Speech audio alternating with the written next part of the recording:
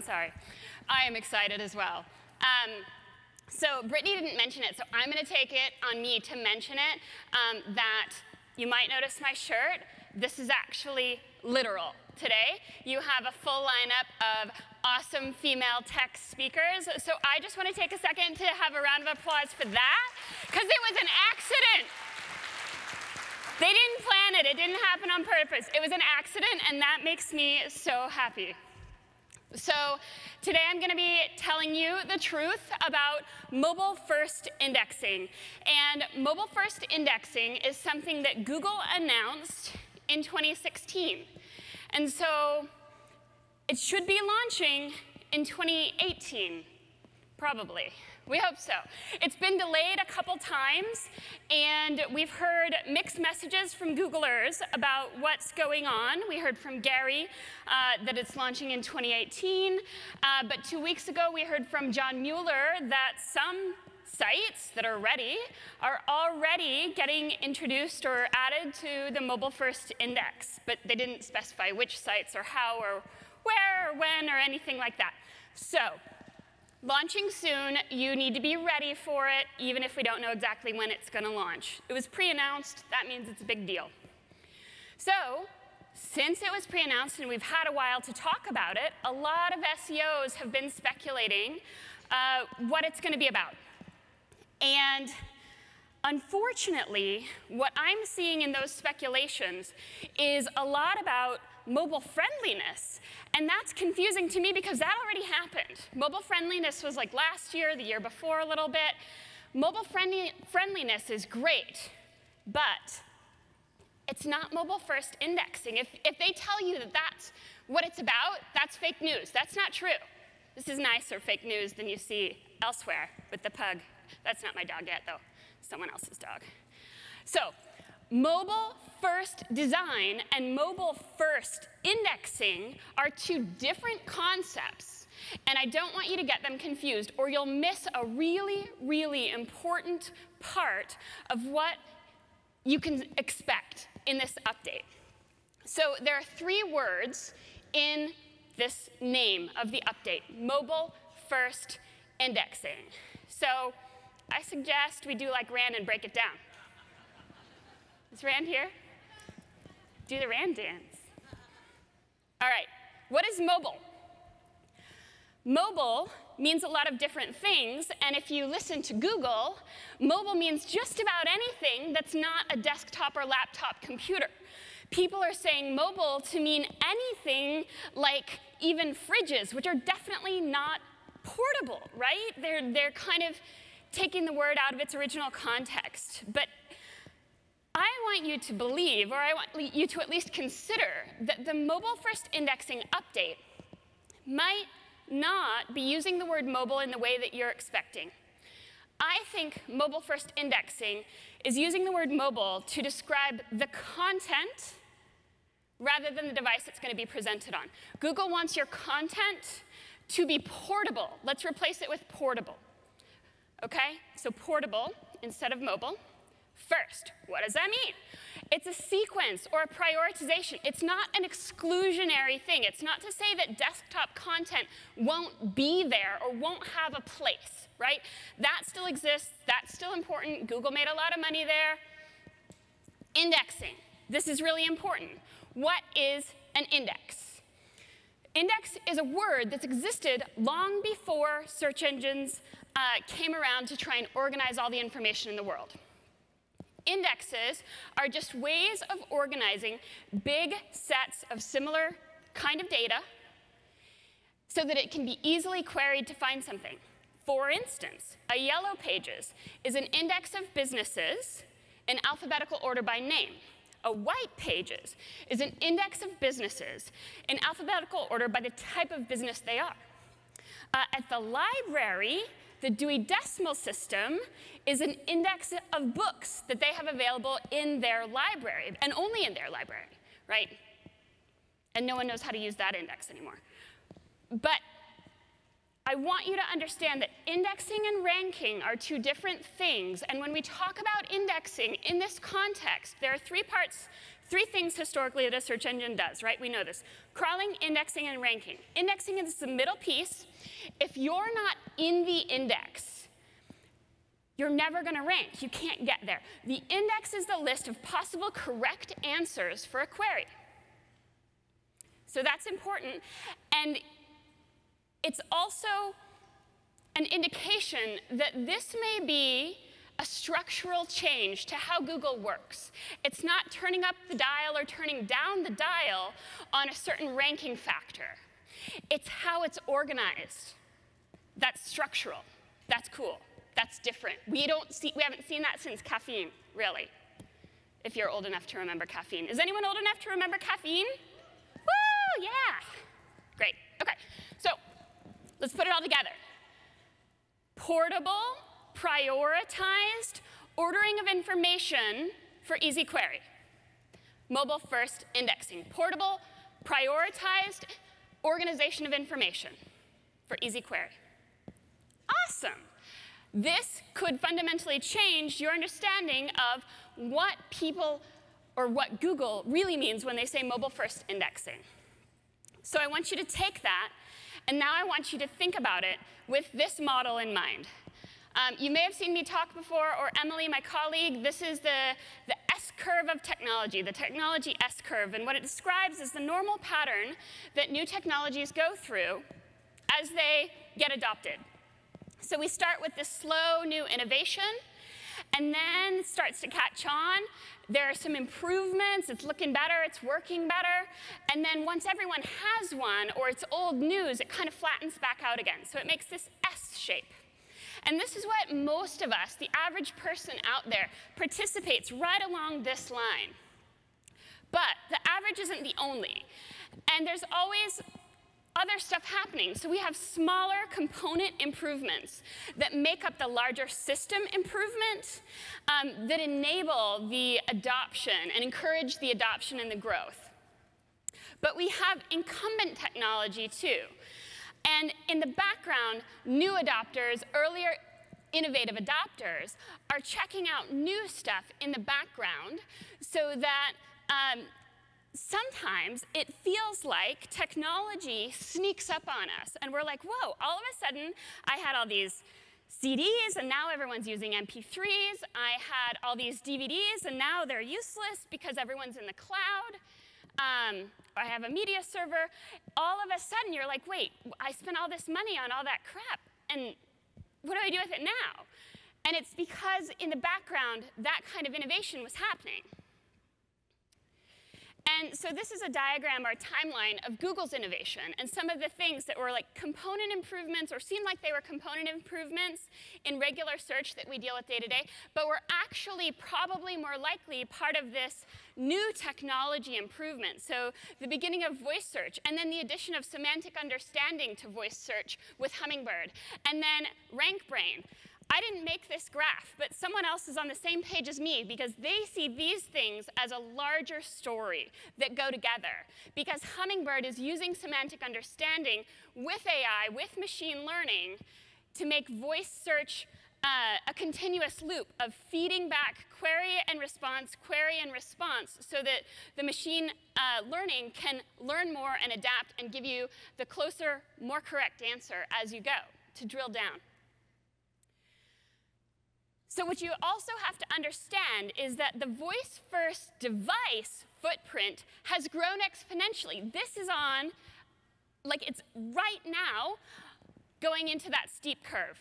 Because all of a sudden in 2017, we have loads of devices that don't have what? Screens.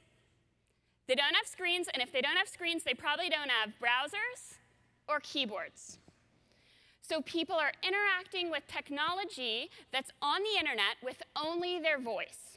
And this is taking off. Here's something you probably don't know. Chatbots, moment for moment, are actually growing faster than apps ever did. Native apps grew really fast, right? Who doesn't use at least one native app every day? Probably three or four. Probably Facebook, Slack, Uber, you forget they're even native apps, right? Because they're so fundamental to your life. Those grew fast. But chatbots are growing faster if you line it up at the same start point. Chatbots are fundamental and important for mobile-first indexing because they get into the AI feedback loop. And Purna did a great job of talking about how important chatbots are going to be. Um, and it's not just with Bing, right? Chatbots sound, to me, originally, they sounded hokey and dumb. Um, but when you understand exactly how they work, um, you get the, the feeling of how powerful they're going to be for our industry. Now, the other thing that kind of happened that no one really thought was that cool except for me was Chromecast. Chromecast is a game changer too because it allows things that don't have screens send information to things that do. So again, we're enabling the voice first, no screen, internet connected devices to have a screen if they should need one whenever they want, but not have to carry it around all the time. And it's making our phones more of like a, a portable information system, and then the big screens are just dummy docks that you can send information from a lot of different devices. And that's super cool. That's disruptive. And Google knows it, right? Because right now you can search for things and within two clicks be casting it. Um, so this one, you search for a video, you click on it, it takes you to YouTube, and you're clicking to cast it. There is no reason at all that that cast button couldn't appear next to the, the season episode number directly in the search result. And I think it will soon, right? So casting, in this case, is taking a search query or a search landing, SEO traffic, almost away, right? You're just playing the video, but you're not landing on an actual web page to do it. You're doing it, in this case, from YouTube, in the future, potentially directly from the search result page. And right now, you can't send directly from the search result page mm, unless you're cooking cupcakes. And then you can. Send to my Google Home. So it's not casting it to a TV, it's casting a recipe directly from a search result to my Google Home so that my Google Home will tell me the recipe as I cook so that I don't have to use grubby fingers on a device. That's pretty awesome. That's a game changer. That makes life easier to do. And the other thing to know is you can see how important Google thinks this technology is because they're building it directly into their phone operating systems at the basic level so that these technologies can be set up when you're setting up your new phone and you never have to think about it again. And the phone becomes the nexus of all your information, and you can cast things from one device to another without even thinking about it. And it's not just Chromecast, Google, Google Home as well, throughout your, your whole house, right? This is the beginning of the connected home. Here's the problem. If you've been dealing with Google in your life, uh, for long enough, you know that they're kind of quirky and they don't always talk to one another within the different teams. And so they get confused about launch dates for things like mobile first indexing, but they also get confused about who's the lead technology, who's the lead group on a particular um, innovation.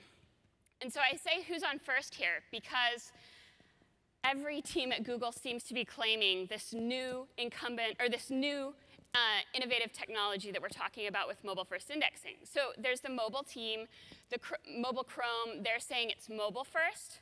But if you paid any attention to Google I.O. this year, their annual conference, huge talk about offline first. This is especially important for the next billion users. AI first, learning, RankBrain, learning algorithms, stuff like that, artificial intelligence. Google Now team cares about that. And then voice, for, voice search. So the, the connected devices care about that. Here's the thing. They're all, if you read documentation, they're all like, it's a mobile first world. It's an AI first world. It's all of these things. We just don't have a name for it yet. They're all pushing you to put all of your information up in the cloud as a company and as an individual so that they can access it and represent it in a great way on a bunch of different devices, regardless of whether or not there's a screen. So, how are they doing that? The main thing is they're trying to leverage the power of big data and semantics to make the web a better place, right? And so if you put all of your content in a really clean, easy, accessible format in the cloud, then it can be sent to all these different places and it can be updated fr from a server and then correct on all different devices without much effort, right? If, that's, if the canonical lives in the cloud and not on a device or not within a specific presentation scenario, then you have the same data on all devices. You're logged in, you've got a shopping cart that follows you along on any, any device. That's fantastic. But it's also, for the user, a really great, predictable experience where there's less room for problems, right? It's predictability. And whether you admit it or not, we're human. We like predictability. We like to know what experience we're going to get when we go get something. It's like Starbucks or anything like that. It may not be the best, but you know what you're going to get. And that's what Google's going for here, because we're all human. So achieve, to achieve this in the most efficient way,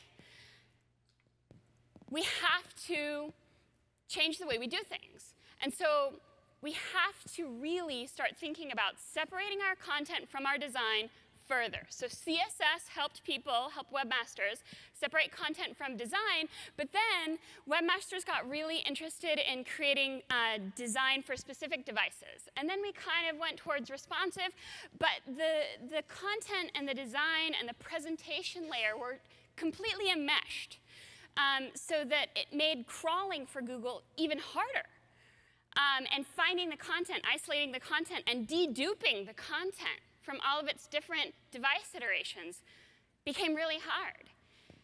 And so we have to let marketers do the marketing, let content creators do the content creation, and let uh, the developers just program, just touch the code, and not have to rely on each other so much to create the, the experience that we want.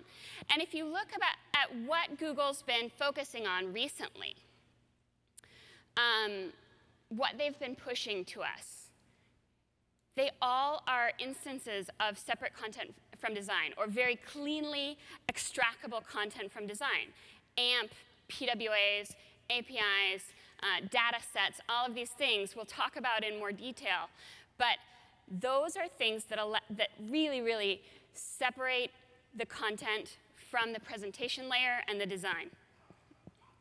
And this is important because Google believes that its job is to crawl and or to index the world's information. But crawling has lost its appeal because so much information is being created every day. And Google didn't just say they wanted to index the world's web pages. They said they wanted to index and rank and show the world's information. And there's a lot of information out there that they can't capture because it's just being created so quickly on the fly every day.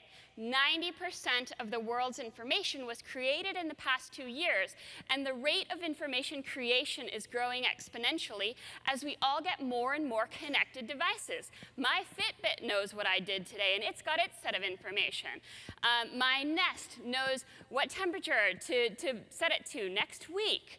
All of these things have their own uh, information that they're generating, and Google wants to help us with that too. Um, so crawling has become inefficient. There are more efficient ways for a search engine to get information. Uh, when, when they crawl, they have to crawl through years and years of legacy code and things that have been commented out and stuff that you just left in there because it kind of works sometimes on some devices. That's not efficient, um, and it's getting worse as there's more stuff that they're supposed to crawl. So the most efficient ways Google can access your content are things that we're not talking about in this industry too much yet. Um, they can get it directly from hosting it. They can get it from you guys sending feeds, like XML feeds to them. They can lift it out of JSON LD files. Um, they can get it through engaging with your plugins or your progressive web apps. And they can get it through APIs. And in those scenarios, the content is easier to extract than to try and pull it out of HTML. Um, so the idea here is, I think, to some degree, you can expect the bots, the crawlers, to be out of a job at some point in the future, or at least a different job, a pivot, because they might be there to verify things, but discovery uh, just isn't scalable anymore. And so this is why it's also important is we put the voice search with stuff like RankBrain and artificial intelligence, and we can have a, a conversation to get the most recent information um, without having to do another crawl, without having a bot to have to visit your site. If you're sending a feed or if you're hosting the content with Google, they can know instantly when it's updated. They don't, you're not on any kind of a crawl delay. And this is replacement technology. This is important. I can't say it enough. So here's my speculation. And I've been saying this for about six months, but I've been saying it a little bit differently.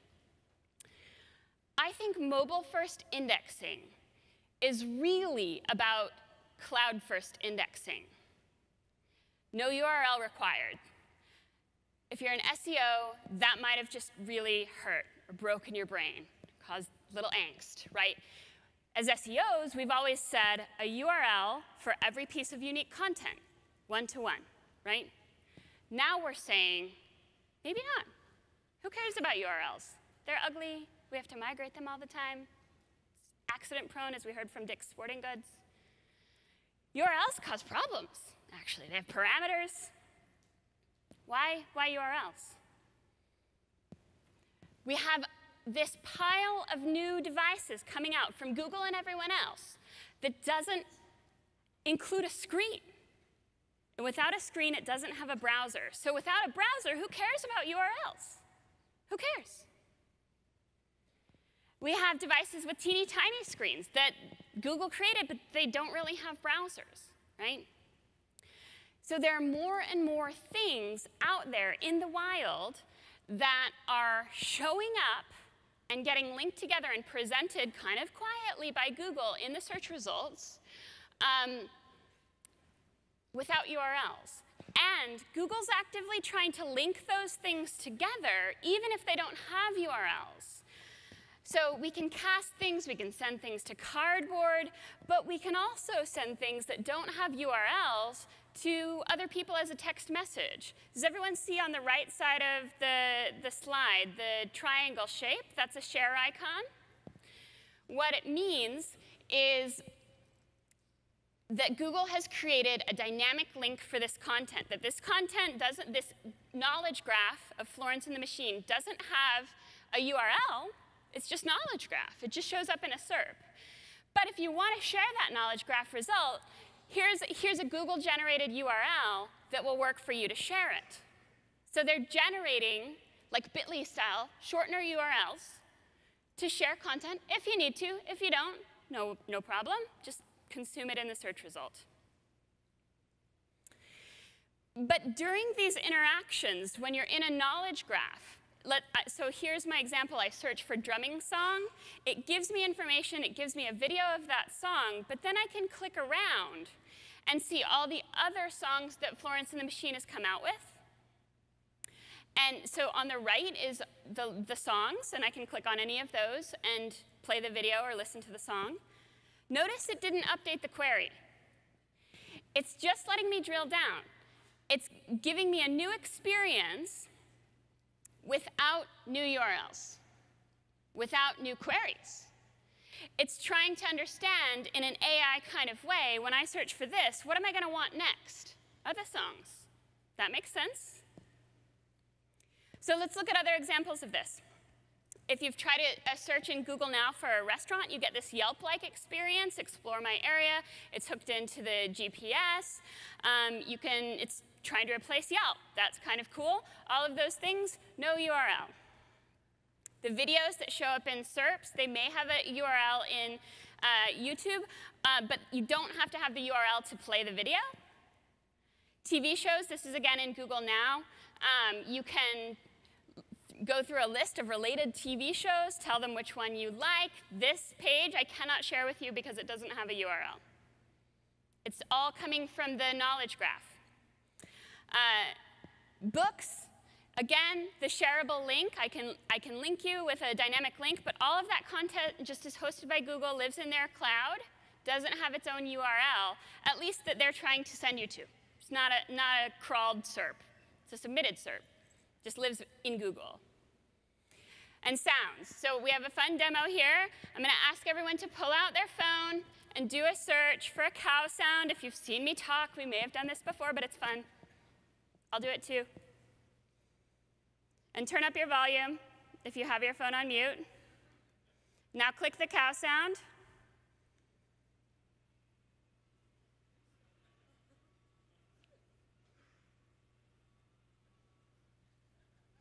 Who knew you could do that?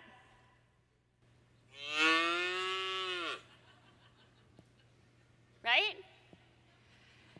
What's interesting about that is you can search for it from your desktop or your phone, and it works. This is a thing that shows up in a search result that you can interact with that has no URL. There's no website with a button where you can click it. It's just in the SERP, okay? It's got this visual representation, but actually it doesn't have to because that query works with Google Assistant or Google Home too. There are some queries, voice-oriented queries, that work with Google Assistant and Google Home that don't even have the visual aspect. So we're going to do a, live demo um, and hope that the demo gods are with me. Play a C sharp. Here's a C sharp.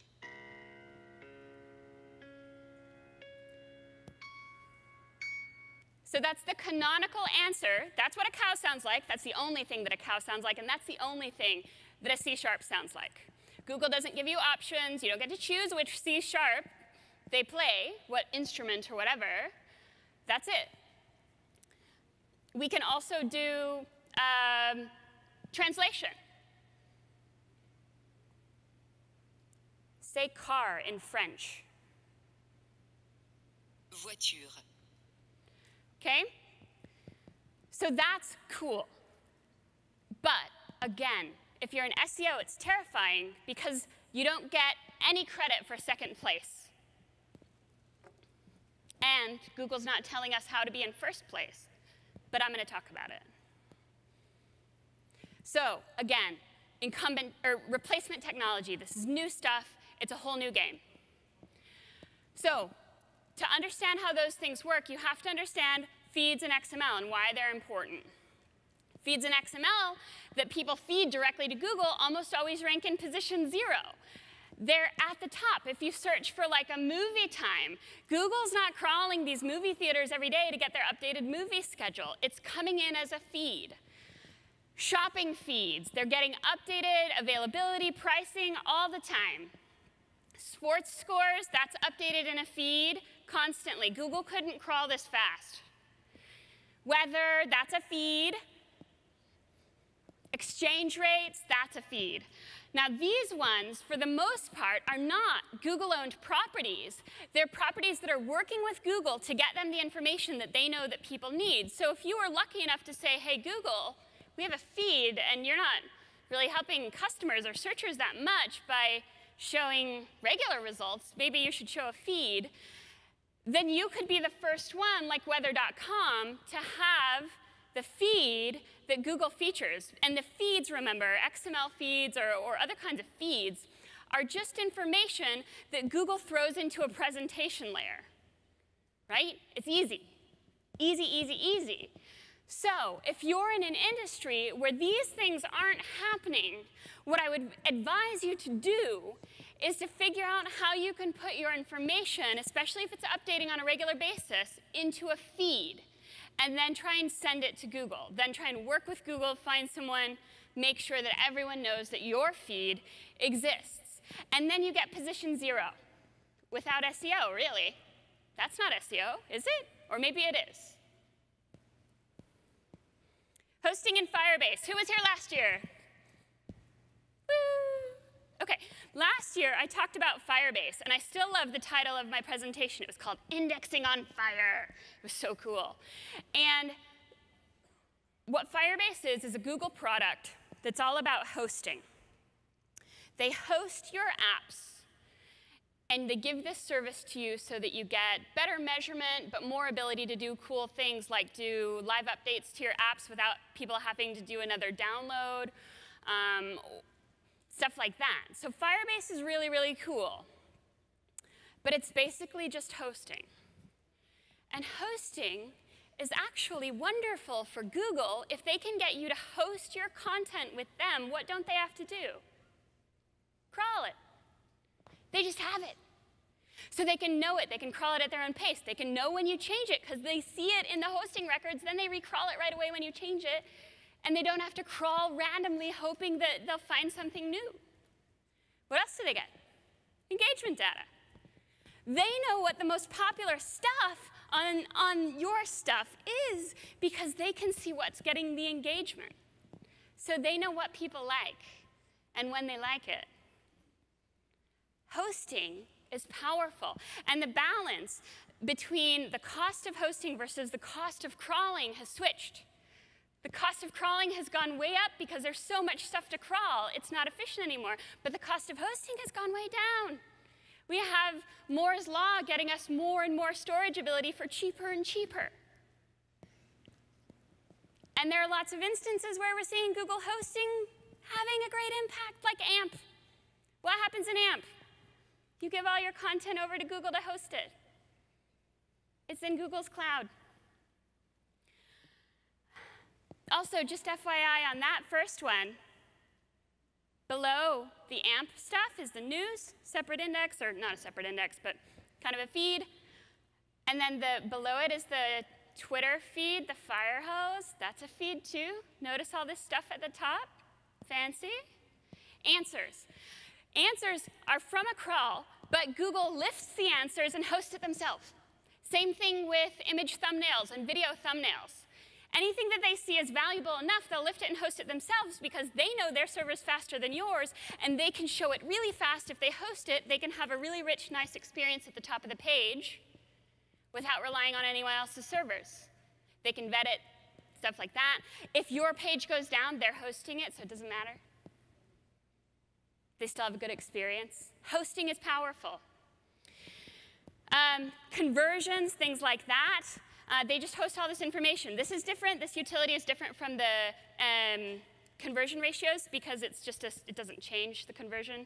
Uh, the currency conversion changes all the time, but cups to pints doesn't. So they just host that and do the math up at the top.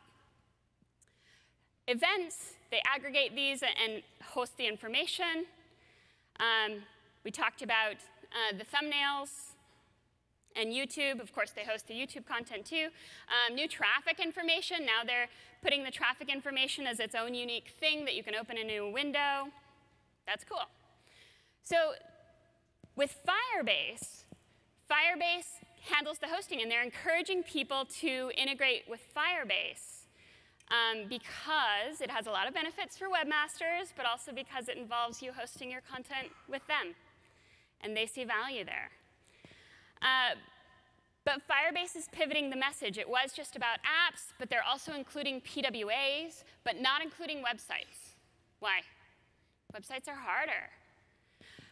Also, who remembers um, instant apps? Instant apps live in the cloud, but they're native apps that you can access on your phone through the browser.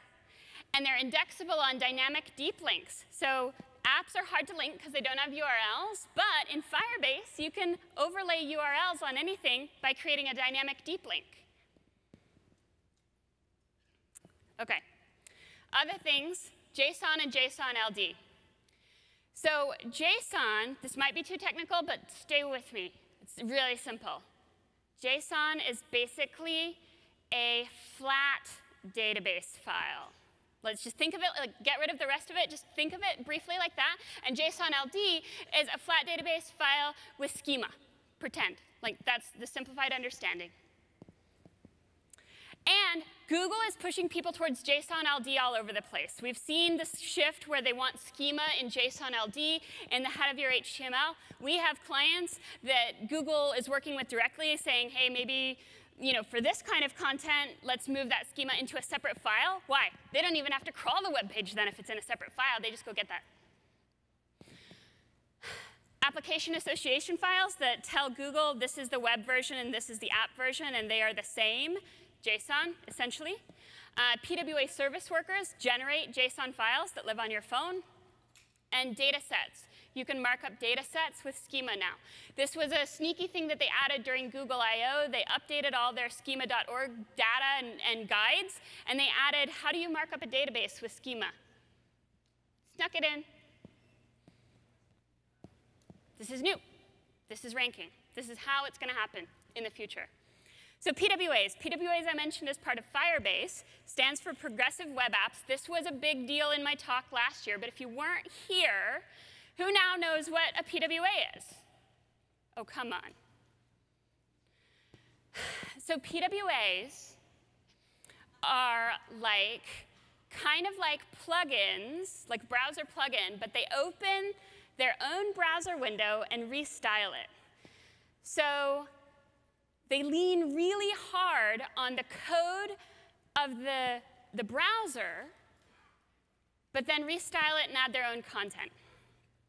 And that makes them really fast and really light, and it means that you don't have to download a new app to make your app experience work because you're leaning on the code of the browser, the, the browser code, the browser app. It's like a spin-off of your browser. Fast, they convert really well, users love them. Those PWAs use service workers to manage caching on your phone. So caching is where you save all the information that you've accessed before. And the service worker allows this app to re-access any text or images that you've accessed before because it's cached locally. So it works offline for anything that you've done before. And people are creatures of habit. They look at the same thing over and over again. That's not a problem for everything that you do on your phone for it to work offline. But for some things, it really is. So the service worker does that. The service worker actually creates a file that is literally called IndexedDB, and it's basically an API for Google's crawler. I asked Googlers, someone who wasn't media trained, how does Google crawl the service worker? And he said, we don't. We crawl the API. It creates. That's how. It's a database just the content, not the design stuff, not the HTML, just the text and the images, or videos, whatever. And then the PWA has an app shell that's a separate file and works to help do that. Google has added the availability to see what's caching in a service worker to Chrome Dev Tools so that people can go in there and see how is offline first going to work here. The reason we know that they like this and that they care about it and that it's going to continue to be a thing is that Google is turning a bunch of the content that they've been using in Google Now, on Android anyway, into PWAs. Who's seen this? You guys are asleep. Wake up! OK, so this one, you're in the, the thing that I was saying, the restaurant search that's going to replace Yelp. Can I add it to my home screen? Yes, I can. Now I have the Google restaurant um, PWA added to my home screen. And I can open it from my home screen. That's web content that looks like an app on my phone, and it's Google. It's happening in a lot of different things. We have food, we have sports, we have traffic. It works for Google Translate. They are spinning off all of their AI learning stuff and all of their knowledge graph into PWAs because people like them and they're fast and they work offline. That's new. All right, app-to-app -app plugins. That's not really a thing. I made that up because there's not a name for this. But Google on Android phones is giving people apps that crawl the content in their other apps and include that content in their app. Google is sending out things to, like sending out apps that will aggregate the app content on your phone and represent it in their app. Google Home does this. Especially, it was much more obvious when it was called the Chromecast app. They would say, do you want to start watching Archer again? And cast it? Yes, I do. Right? They knew what I was watching in Netflix, and they brought it up there. Okay? So they're crawling the other apps, and they're doing that with deep links. Same thing's happening in Android Auto. Android Auto can open whatever map that I've used Google Maps recently for. It knows what I was playing in Audible and what chapter I'm on exactly. It'll start exactly where I was. It knows where I've gone recently. It knows where I am. And I can toggle between all of those things and interact with, for instance, my Audible book or what I was playing on Google Music or what I was playing even in Amazon Music. And it'll play it with all the controls in the Android Auto app. Android Wear, this has always been kind of like plugins because there's just not a big enough utility to, to do that. But you're buying little plugins that work mainly off the, the memory on your phone, but send it through Bluetooth to the watch screen. Okay? It's like apps in apps or app to app situations. What's fascinating here, especially from an ASO scenario, is that in most of these cases, you can download apps directly from these utilities without having to be thrown to the Google Play Store. They're surfacing and letting you download new apps that work with this existing app here without the friction of opening up the Google Play app. Also, two weeks ago, uh, Google announced that soon you're going to be able to download apps directly from a Google search result, from a SERP page. So people won't have to go to the store there either. They're cutting down on the friction, at least for Android users. And that means that the ASO is that much more powerful, the App Store optimization, the app packs, stuff like that. We're cutting out the websites, right? The apps that are in the Google Play Store, they kind of have a URL, but not really, right? They wouldn't need it anymore. This is happening to some degree in Apple as well. Um, with iMessage, it's their chat bot that can integrate. You can build iMessage integrations on your app and interact with the, the native apps on your phone with chatting to them. That's kind of cool. But then the really big new thing here that I think illustrates the point is Google Actions. So to understand Google Actions, you have to understand Google Assistant. When I was saying, how do you say car in French? It was with Google Assistant. Um, and Google Assistant lives in the Google Home, lives in a Pixel phone, um, but Google wants to put the Assistant everywhere. And this is the chatbot loop that I was talking about with AI um, narrowing down exactly what you want. And you can see it knows things. Um, you can ask it questions. It knows things. It gets that basically from the knowledge graph. But it knows lots of other things too. Now, what do we see here? What do these things, three things have in common? Google gets them in feeds. This is the stuff that Google's getting in, a, in an updated, feedy kind of way, XML kind of way, and you can query it to know what's going on now because they don't want you to query the SERP because that, if it's not showing the feed at the top, the content might have had to be crawled and it might not be fresh enough. Google is also using this interaction to crowdsource and microsource what people want. So I say, what is the weather in Portland? It gives me the weather in Portland, makes a silly joke, like don't forget a raincoat. And then it says, do you have other questions? Lots of people wanted to know what about the weekend or what about tomorrow? And so without doing another search, I can say, yes, I would like to know about tomorrow and click it again. It's trying to anticipate your next query based on your first query, just like it did with the Florence and the Machine and Knowledge Graph, right? But they're also taking AI or take, taking information from other places and, feeding it to their AI, who's seen these on a bounce result on their phone. It slides in other things. When you search for that but didn't find it on that web page, what did you really mean? Did you mean this query, this query, or this query? Because we have other information that seems like it might be what you want. Click here. And that information feeds back, what did people mean when they searched for this? What did they really want? Why didn't you find it? How could we help you find it? Same thing, people also ask. That's helping them, that's feeding the AI. So here's an example of a Google action.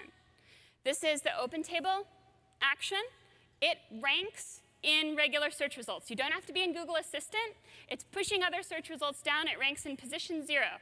I search for make a reservation at Root Down. It's a place in Denver.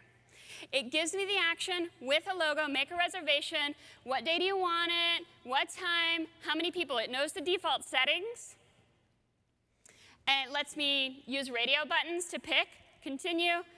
It'll even give me confirmation, and if I try and rebook it, like I think something went wrong, look at the far right, it says, no, you already got that. Do you want another reservation that same day? It's confused, right? It's giving me instant feedback in the app and in the web. You don't have to have the app for this to work. It's all happening in the cloud. You just have to have an account and be logged in. What's interesting is, or what's cool is, that action works on voice-only searches as well. Works with the assistant, works with Google Home. You have a visual and a verbal interface, and the bots do the work to present it wherever you're trying to access it. This is mobile first indexing. This is portable first indexing.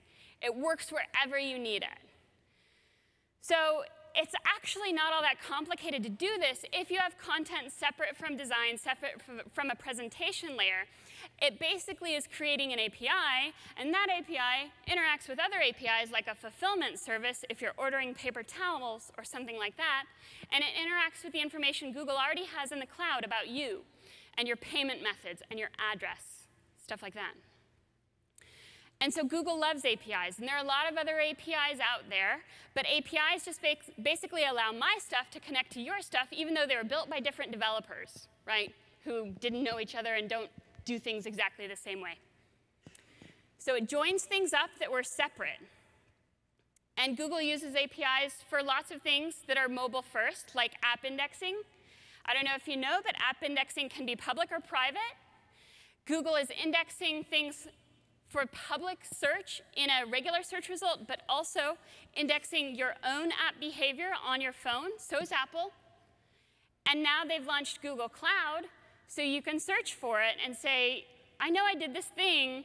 I don't remember which device it was on. Where do I find it? And it's all saved to your cloud. This is a clear indication that they're wanting everything off the device and on the cloud. This is another thing where they're capturing things in the cloud on all my different devices. This is a story of my day, and this is like part of the Android OS on a Pixel. It says I started off at home and I took two pictures of my dog. He's cute. Then I drove somewhere. Then I walked somewhere. Then I went to Ink Coffee. Then I went to TJ Maxx. Then I went to downtown Denver. Then I went home. Then I took more pictures of my dog. It's taken things from the map and the camera, it knows how fast I was going, what method of transportation I was using, so that it can personalize the information and feedback it gives me based on my habits and what I interact with and what I use.